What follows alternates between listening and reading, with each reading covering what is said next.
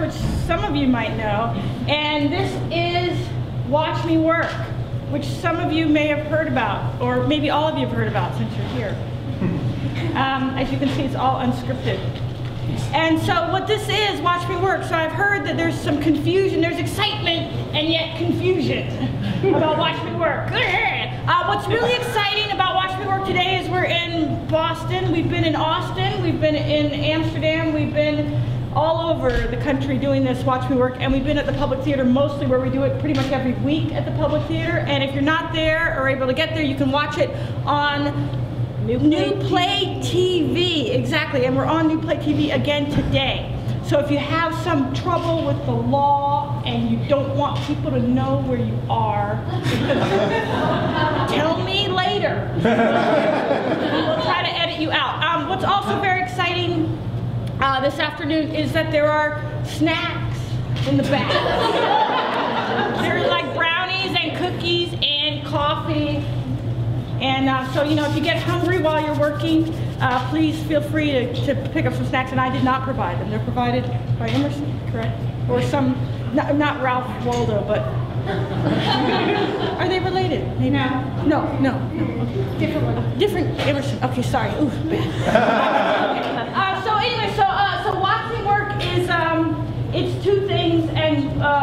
same time. Watch me work where the me in the title is you.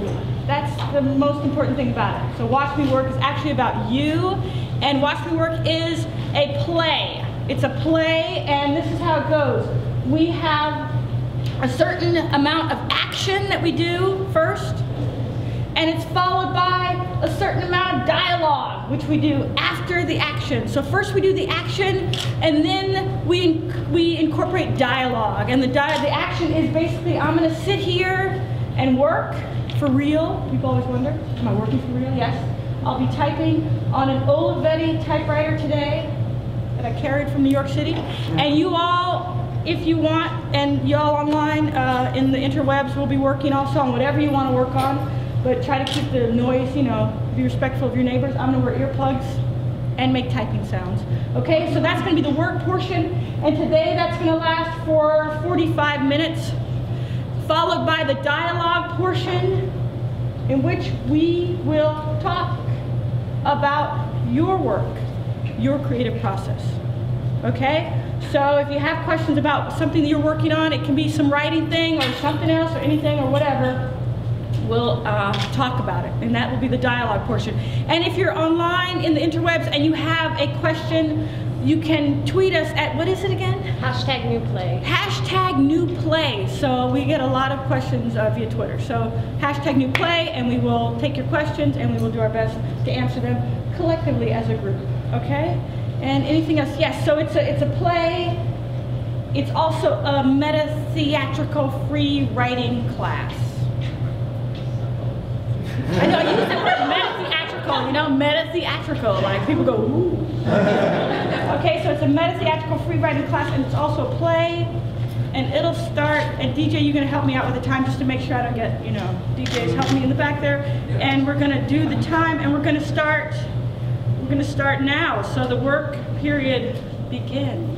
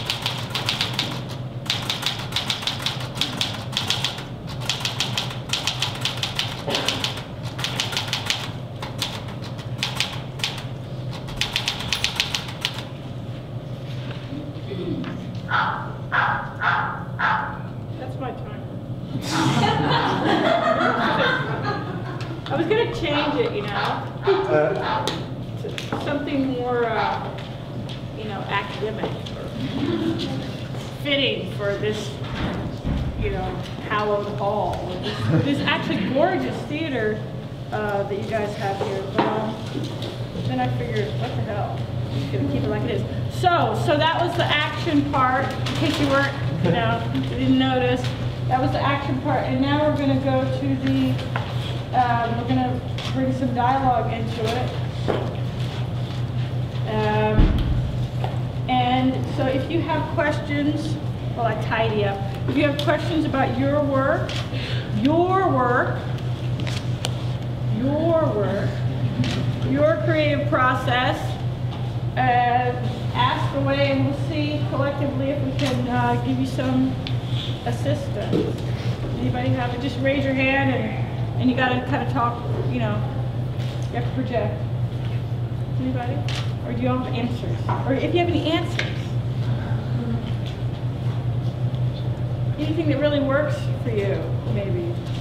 Or your, the, the most difficult thing for you and the best way to work through it, maybe, that's also helpful.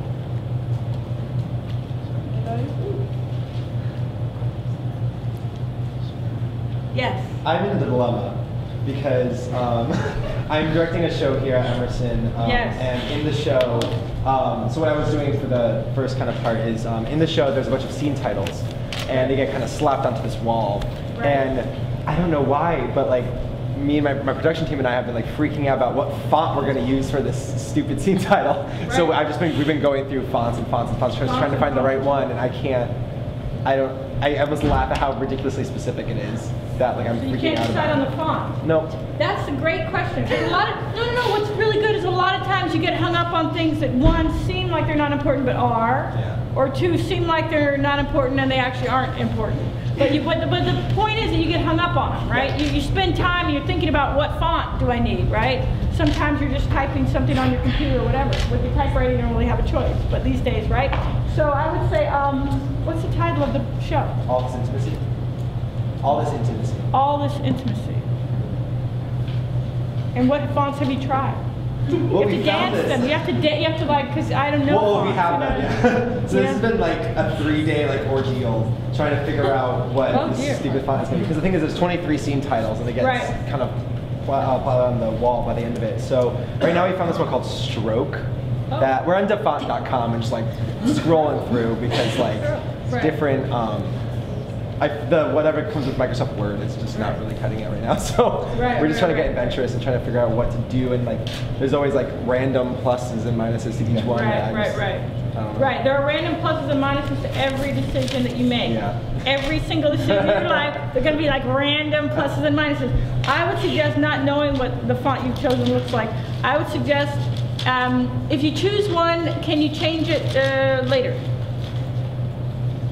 I have about seven days to change it, but yeah. Great, so just choose one. Okay. just like, just, I mean, really, pretend you know exactly the right one for your show. Pretend Okay. you know which one it is, right? Pretend that you know, and then choose it, and then just move on and take care of everything else. And either you'll look up one day and say, ah, that's perfect, or I know exactly, it came to me in a dream, or whatever, and you're gonna change it. okay. Okay, so it's not set in stone, you're not gonna, you don't have the stone carver out who's going to, Yeah. right? You're not working like that. All right, so you're okay.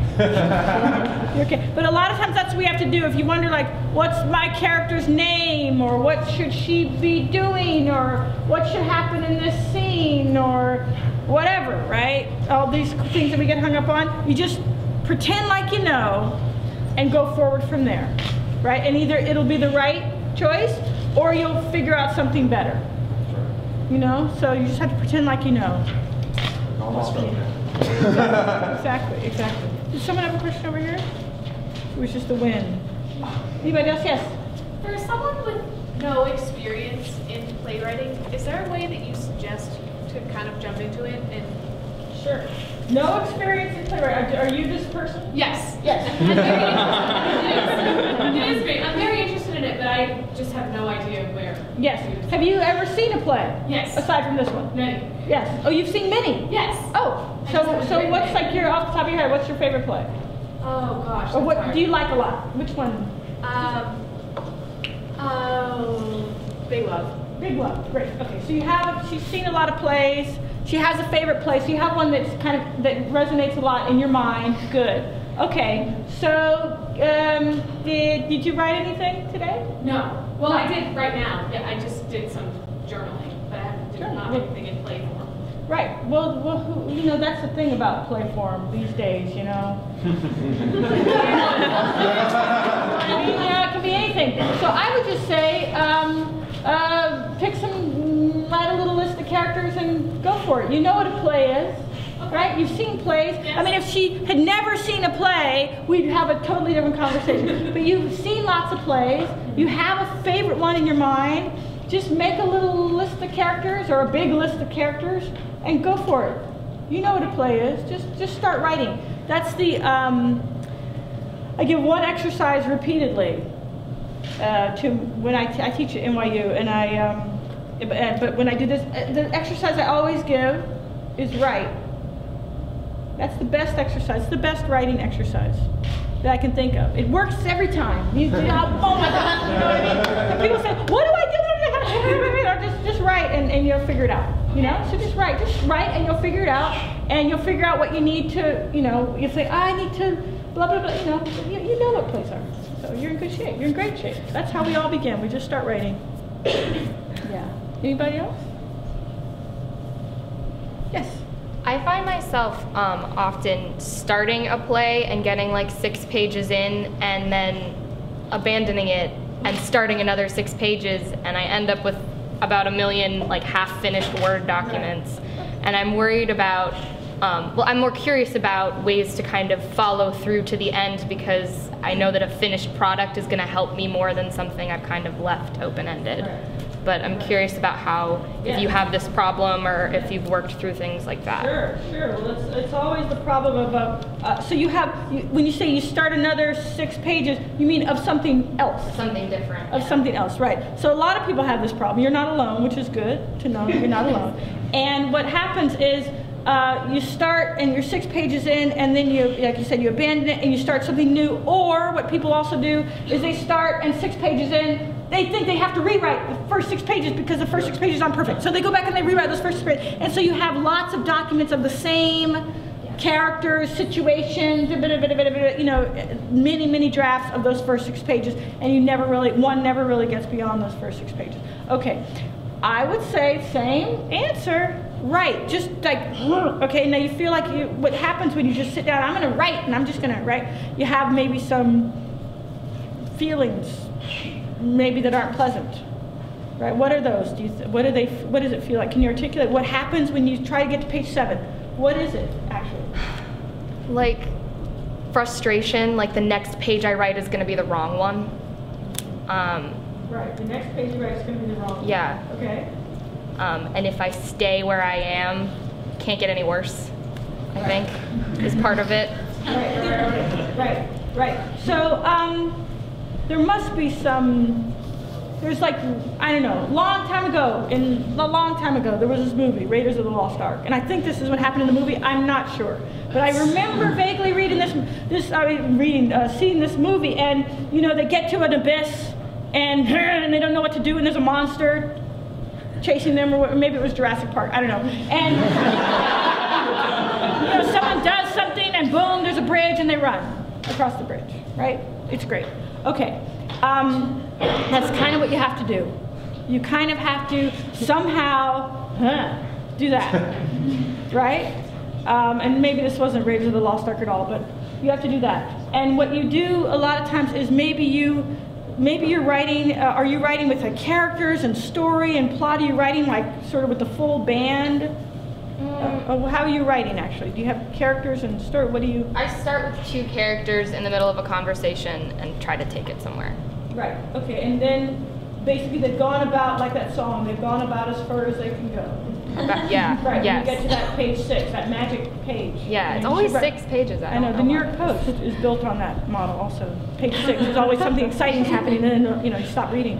Um, but uh, what you, so what you need to do is you need to somehow find a way to do that. Okay, so you need to build some kind of other bridge because the bridge you have isn't sufficient enough to give you confidence to go forward. You think you're going to fall into the abyss. That's basically what you think. You think you're going to fall into the abyss and die if you write page seven right? It's the end of your life. You know what I mean? So you got to think of something. So what you can do is just stop writing the characters and start thinking, okay, what's happening?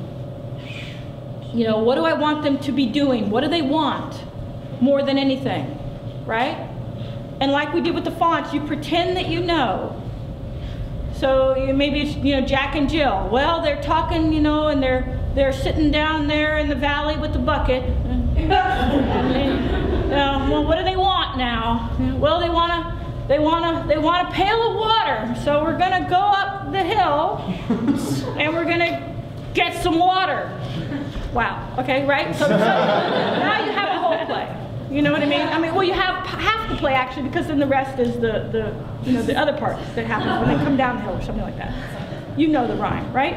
You see what I mean? So there are two characters talking, Jack and Jill, and you think, what do they want? They're just talking. Suddenly you have to add desire, right? Um, uh, geometry, uh, two points make a line, right? So here they are, and where do they want to go? Here. What do they want? They want to go to Moscow. They want to go up the hill to get a pail of water. Two points, where they are where they want to go, make a line, eh, a line of dialogue. Talking, talking, talking. Suddenly they're walking, right? And suddenly they're going somewhere. They want to go to Moscow. What would Three Sisters be? If you know three, you must know Three Sisters. What would Three Sisters be if they didn't want to, if Masha or whatever her name was, didn't want to go to Moscow? It would be just some women talking in a room.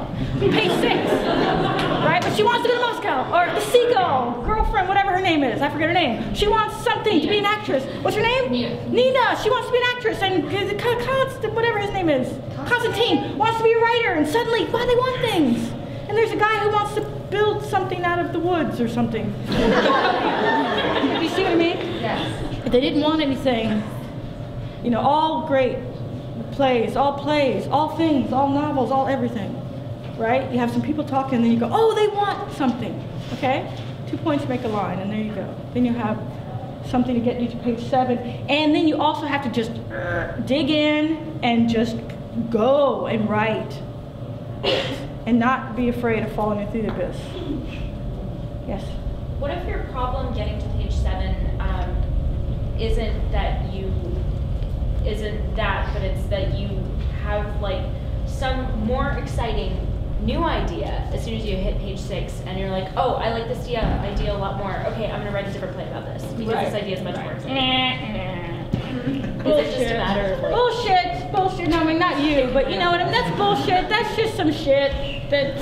I'm sorry. I'm saying shit. We all have it. We all do it. You know what I mean? That's just some some booga booga, some blah, something, some version of that. It's all. I don't know my font. I don't know how to get beyond page six. I've got a better idea. It's all the same thing, which is basically someone, you, or you, or you, or any of us, talking to yourself in your head, telling you that you're not good enough to do what you're doing and you should stop. And depending on who you are, that voice in your head is going to take a different form. Sometimes we say we can't get beyond page six. Sometimes we say we don't know the font, so we can't go forward. Sometimes we say, I got a better idea. It depends on who you are and where you're at in your process on that given day. So it's just a way to get you off track. And all you got to do to satisfy that voice is write the idea out on a post it, you know, and you put it on the side and say, I'll get to you later. You know what I mean? It's like talk to the hand. Thank you very much. Talk to the hand, right? Okay? So it's just a it's just a way to get you off track. And it might well be a great idea, but that doesn't mean you should stop everything you're doing and finish the thing you're working on, get to the end, and then start something else. Okay? That that usually works because then you'll be finished, right? And then you'll have that, and you'll say, at least I finished. Now I can go to the better idea. And you probably look at that idea and go, that, that was stupid. Yeah. pretty much, pretty much. Yeah. Anybody? Yes, in the back and sitting in this scarf. Yes. Hi. Um, I, I guess when I write, um, I like to word vomit a lot. Uh, and so the thing with me is like I do a lot of that. I do a lot of like I'll get to you later. And so my problem is I'll create a scenario where I'll like impose myself onto my characters, and I'll be like, all of a sudden she starts crying, and then the actors who are like reading my script while I'm workshopping it will be like, where did that come from? Um, and I can't fully explain it because I'm like, well, it made sense in my brain, but um, they're like, well, the dialogue really, you know, the back and forth really didn't support that action to happen. So um, I guess when I get to that place, I don't like, I'm like, oh, backtracking. I don't really know how to, you know, like get back to the swing of, of, you know, getting to that same place where I really understood or what I was trying to get at in terms Right. of getting that action forward. So Is is it a staying on course question? You're writing along, you word vomit a lot. Sometimes you, you say you impose yourself on your characters, and sometimes they're doing and saying things that is not consistent with what they want. Yeah. Two points make a line.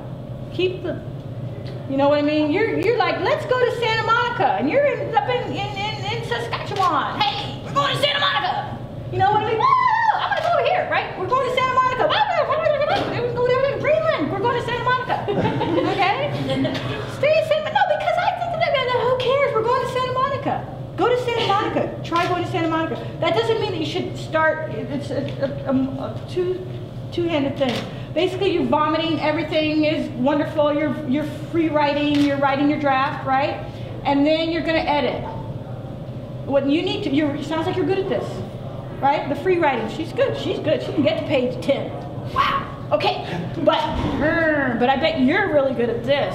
The magic scissors, the sword of discrimination, where you go, guess what? No, no, no, no, no, really, it's a, it's a, um, you know, not like, you know, like a, like color divide thing. We're in Boston. Ooh, scary.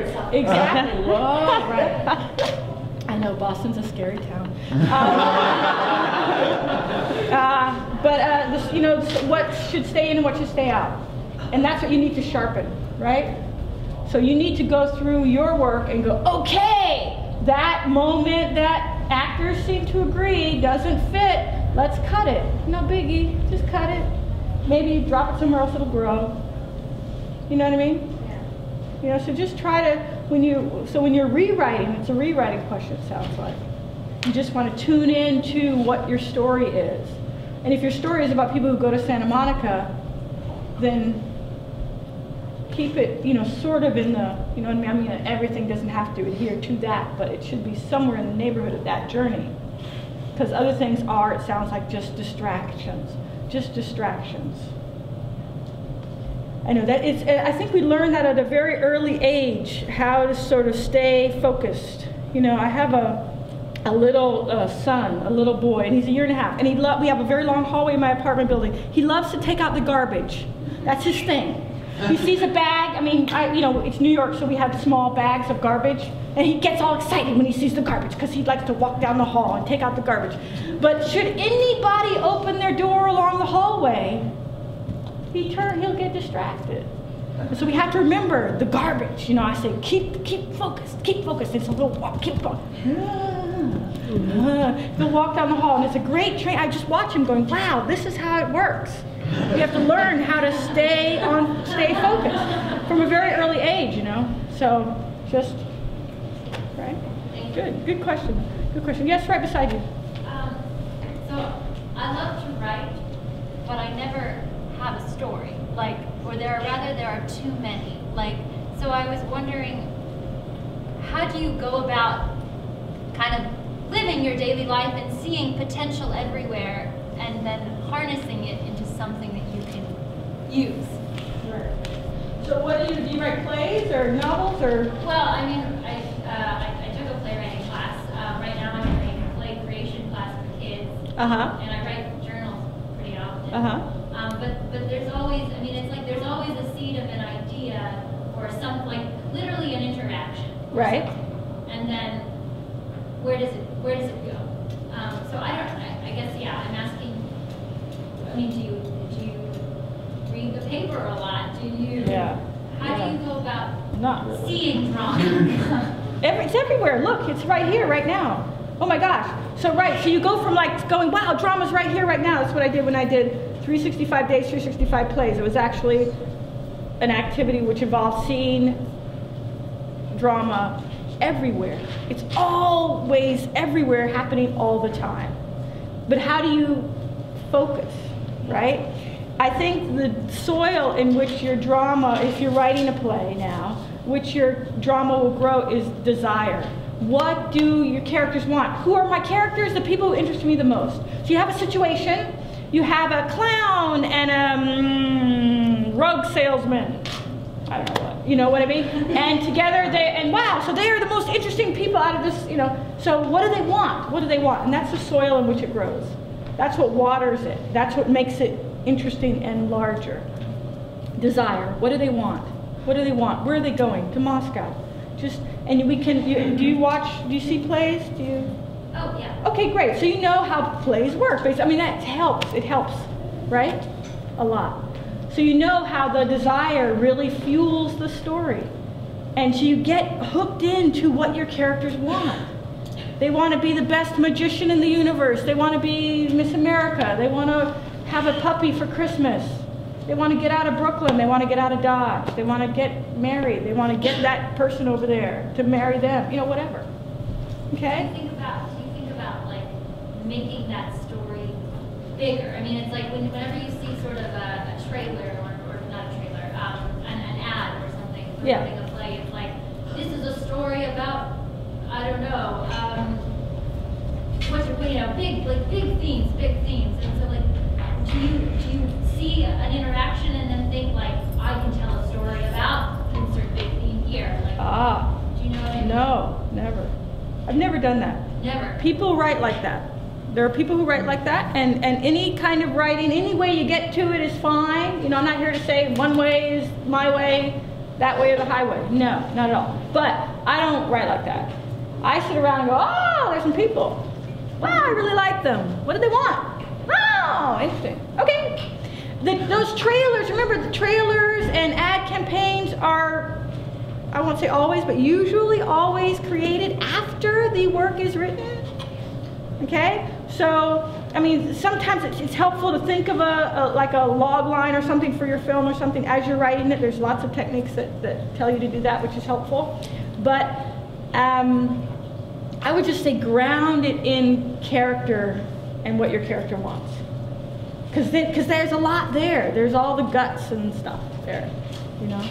You won't get in your head too much if you do it that way. Someone from, oh, yes. We have a Twitter question. Oh, we have a Twitter question. Yes, um, it's regarding offstage characters. Ah. And, and when you have an offstage character, does that create significant problems for a story? And, or if not, how do you use it? An offstage character, wow. Dave did have our An offstage, Dave is an offstage character. Um, an offstage, yes, they create lots of problems for us. Um, offstage characters, so yeah, offstage characters. Um, offstage characters, I love offstage characters, and anybody who knows my work can know that I, I have whole people, whole communities offstage that impact the action on stage. No, actually, there it's it's economical writing, I think. You know what I mean? Um, let's see. Let's think of a, an example like uh, uh, like Oedipus's dad. You all know kind of maybe Oedipus. He talks about how you know I was hanging out. This is you know I was hanging out, walking home or wherever he was going, and there was this guy at the crossroads, and we fought, and I killed him. Oh, you know that's his dad. We never see his dad. You might see it reenacted in some versions of Oedipus. You know they might come and dance it as he's telling it, but you never really see his dad on stage, right? Um, that's an example of an offstage character that does complicate the story quite a bit. Yes, it fuels the whole story. You know, Greeks love offstage characters. Um, I love offstage characters. It's, they're very useful and very economical. So if you like them, use them. It saves money. very, especially in these days, you know, when we don't, oh my gosh, we don't have money for that character. Great, she's an offstage character. yes, in the back. So I have an offstage character, and um, I've mostly just kind of alluded to him as being there because he's a he's a twin brother.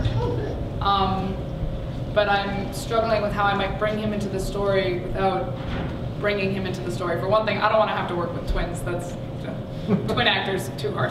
but uh, I guess um, I have a lot of things going on in my story as it is. I have a lot of conversations about things that have happened in the past, which my teacher is nailing me in the face for. But um, I'm just, I, I'm, I don't know how to, I guess, how do you go about bringing an offstage character into the world successfully? Or do you have any idea things not to do besides bring him on stage? Um, yeah, there's a. Wh- why do you want him to be an offstage character? I mean, wh- why does he need to be The play takes place in a bathroom, and Okay. uh, I, it just seems like Okay. complicated to bring in. Okay. And it's, Okay. it's a lot about the dynamic three characters, I Okay, kind of like okay. the idea you only see you only see the dynamic between two Right. of them. Is there a way to streamline the, the backstory to eliminate some of that baggage? I mean, basically, you have to be real. It's it's an economical. It's a technique. It's you have to be really. The economy is so important. So you you don't talk about everything, right? The twin from birth, when we were in the womb together, all the way up until this moment right now, right? But you talk about. You have to be really economical and just the things. You just want to reference the things that really apply right now to the story as it's going on right now, that fuel the action.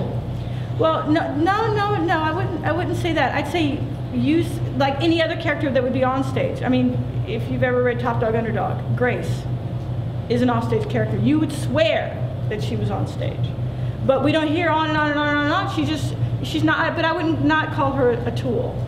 Um, it's just a. It's like dialogue or any anything. It's craft. It's a craft issue. So I would just say be really, really aware of how much you're just illustrating and talking and how much you're like, whoa, Twin is really fueling the action right now. Just like any other character. You write them as if they were on stage. As if at any moment the next scene was going to be Twin's room or whatever. At any moment, he was that, he's that real. You have to uh, clothe him. You have to give him a costume. You have to give him a place where he lives. Everything. You have to, I tell my students, paint the scenes that you don't see. You know, so all the scenes that you don't see, you're doing all the set dressings and you're picking out the props, everything you don't see. It has to be that real to you. He has to be, how is he different from his twin? Are they identical? Are they fraternal? Blah, blah, blah. I'm sure you've thought of all this. You know what I mean? But get him down to all the details. Okay? Yes, Anika? Um, I guess my biggest problem in my writing is differentiating between two voices with two different characters. I feel like I write most of my characters with the same voice, and it's usually my own. And um, I feel like there's some sort of way to make two characters speak and, and, and act differently without creating a caricature of something. You know, and that's, I guess, my biggest difficulty if you have any. Good question. Yeah, how to create different voices without creating caricatures. So it's like, okay, I'll have one character from, you know, with a Boston accent and the other character from, you know, Texas with a Texas accent. Right, so you don't want to get into that kind of thing. But what, again, it comes down to, I think, it comes down to desire. Different characters want different things, right? It's also, so different characters want different things. They're going to say different things in different ways, right? And they're going also energetically. So you say one character is um, uh, has a lot of energy and the other character is more sedentary and likes to sit in front of the TV. So you try out those two things just as an exercise. You try out the character who, you know, one of those people who never stops moving, you know, never stops moving, never, and the other character who cannot seem to get out of the La-Z-Boy, right? That's a very different way of talking. A character who cannot get out of the La-Z-Boy and who does the New York Times crossword puzzle every day is very different from a character who cannot get out of a La-Z-Boy and watches Home Shopping Network. Right. Right? Okay? For the sound of the people's voices. They like to be lulled into some kind of comatose state all the time. Okay? So that that's where you get so it's energy, yeah. the energy and the desire of the character and the, what the character wants and how they go about getting it, basically. You see what I mean? Yeah. Okay? So it's just it's just that it's real simple. It's not anything too complicated. Good question, Rob. Good question. Yes, sir, in the stripes. Um, so I finished my first play. I was really fortunate that it was workshopped and culminated in a production, and I had a really wonderful experience with that. Now I'm trying to begin my second. um, and so I think my, my question right now is, because I'm in the baby stages of working on something new. Right. And I, I think I'm concerned about how to continue to develop my own personal voice as a writer Mhm. without falling into habits or writing the same play Mm-hmm. over and over again and, and using conventions that I know I do well and I know work. How can I broaden myself a little bit and, and try and you know, still be who, who I am and, and make the plays that I, I want to see, Right. but also not write the same play over Right. over again. I would say that's a great question. How do you write the second play or your third play or your 20th play and not write the same play over and over again? I would say not to worry. Either you will or you won't. And it doesn't matter. It really doesn't matter. If the worst thing, what, the critic's gonna say, well, this is the same play you wrote last time.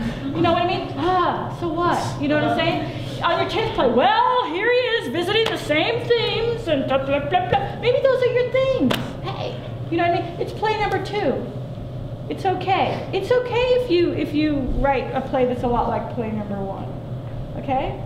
The most important thing is to write. And through writing, you're going to get more, you're just going to get more comfortable. You know, when you walk to school or class, maybe you go the same way. And then maybe one day you have a little more time or it's sunny and you take a different way. Okay? Not to worry. The most important thing is to write, you know? I think, again, it's like, I think it's um, a question that could trip you up if we focus on it too much. Not to worry. If you're on play number 50 and you're still writing the same play, maybe that's okay. You know, think of great writers. They're great writers and they do all kinds of different things. Some only write one novel.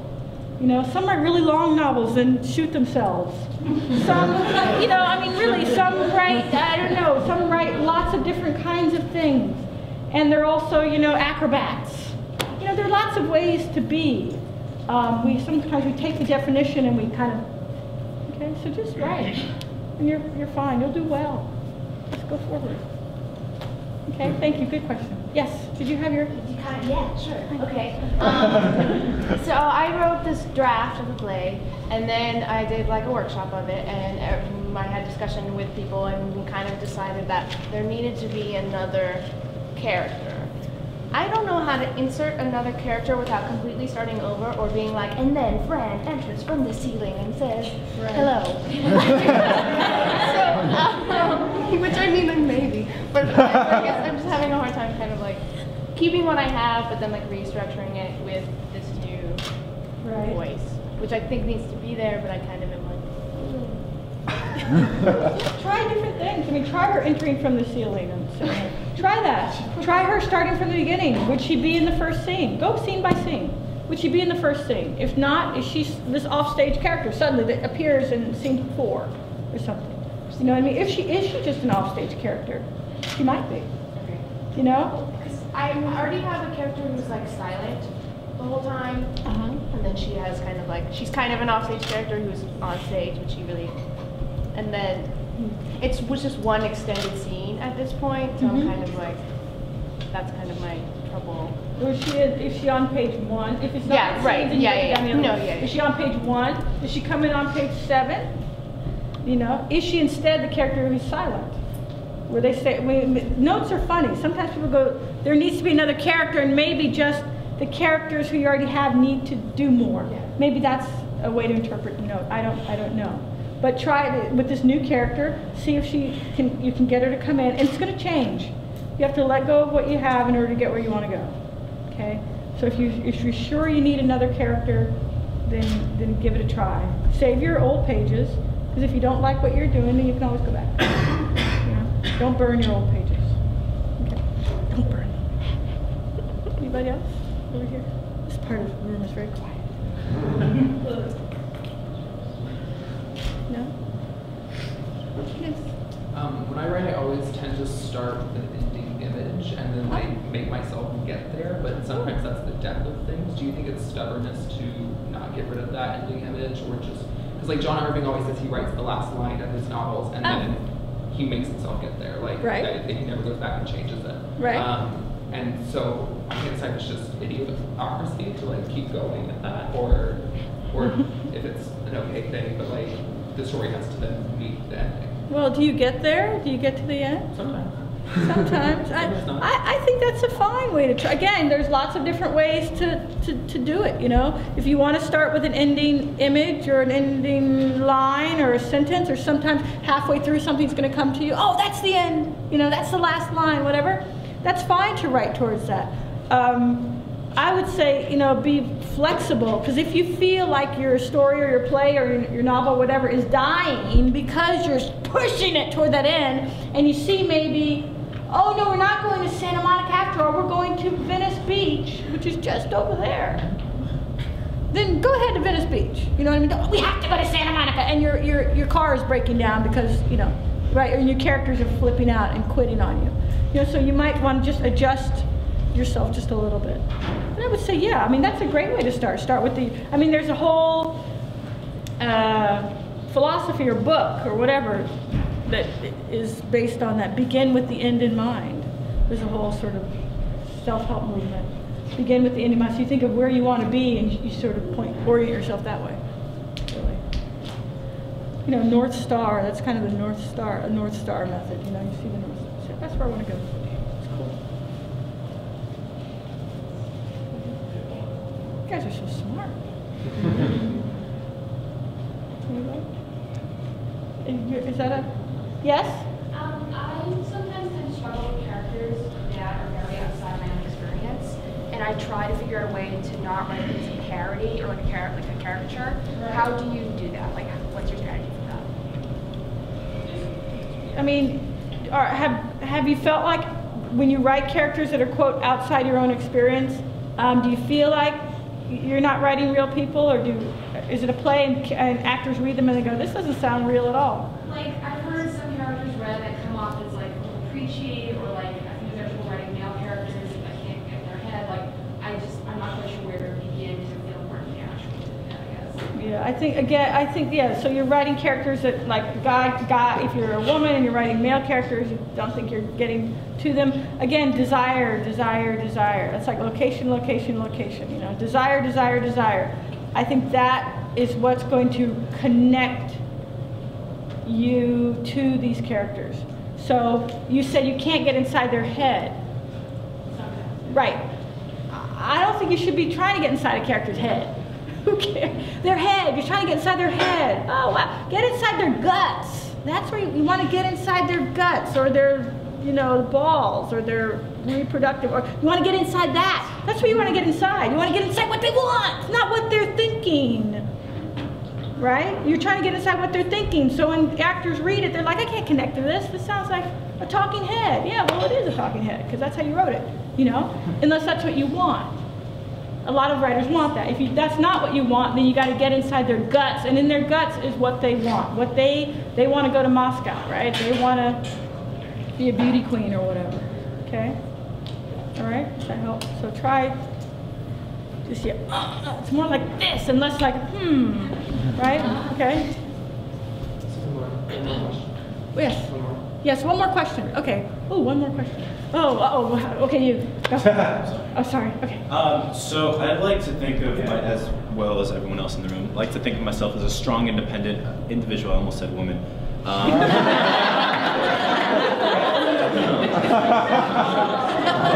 um, I have this voice in my head that tells me not to pursue a project or a topic because of the fact that it may be a little racy. Um, I, I'm very interested in the topic of being a foreigner in American society, being a Latino American with American society, being African American, and uh, I, I've, a lot of the times I, I, I question, will the general audience in the theater world be even interested in a topic like this? Is this even something worth pursuing? Um, because, you know, maybe I'll be viewed as just another uh, Puerto Rican from Chicago who's just angsty and wanting to get into the theater scene any way he can. Um, and this is the avenue, avenue I so choose to go. Um, but you know, it, it, it's to me, it's a very worthwhile um, pursuit, and I think, from in my personal reason, it's a very uh, strong uh, way of life that I don't think is reached out for in the theater community. Um, how do I tell myself to shut up and just continue my work? I suppose. Yes, put the time in. These are big questions. So a lot of times it's a great question because a lot of times you really, really want to write something, and that's another excuse. That's another person in your head. Like I got a better idea. Like I can't get beyond page six. Like I don't know the font. And again, these are relative. You know, it's a really strong question and a deep question because you're dealing with. Will I even be accepted once I get to page 10 or 20 or 50? What are people going to think of me and will they allow me into their community right? And that we all want to be in that community. It's a really deep question. You got to put the time in okay? Because number one know that if it is important to you it is important period. There's no conversation with the talk to the hand you got a whole bunch of people behind you and we all do, no matter where you're from, who your people are, how old you are, how young you are, whatever, right? But you, what you from what you said, have a whole bunch of people behind you who are rooting for you and who are saying, "Go and do it, man." What you waiting for? We all got those people. Go and do it, girl. What, what are you waiting for? We all have these people standing behind us going, Oh, come on. Go and do it, brother. What you waiting for, right? So you have all those people behind you. They outnumber the people in front of you who are going to tell you, I don't think I, you're just another fucking China No, no, no, no, no, no, no. Like my son says, no, no. No, no, no, right? no.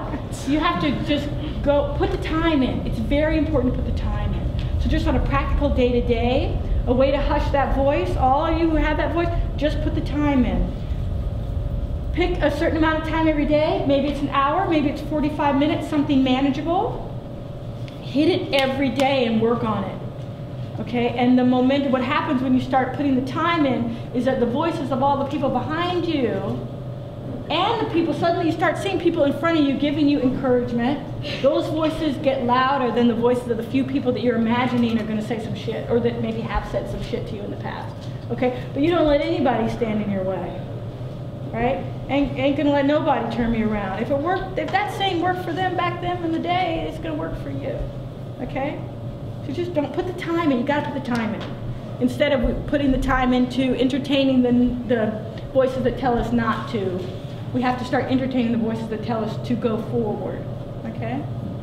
All right. So just make sure you put the time in. Okay? And I'm I promise you, they will recede. Those negative voices will just fall away. All right? Are we done? We're done. Oh, we're done. Thanks for coming.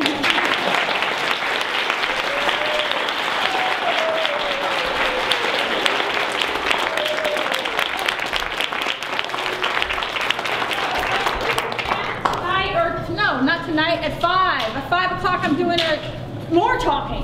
I'm doing more talking. Uh, this time it's a prepared, slightly prepared thing that I'm doing. So uh, it's a million suggestions from Suzan-Lori Parks. That's right. Cutler Majestic Theater, free and open. Free and open. Come on, come on. Yes. Thank you.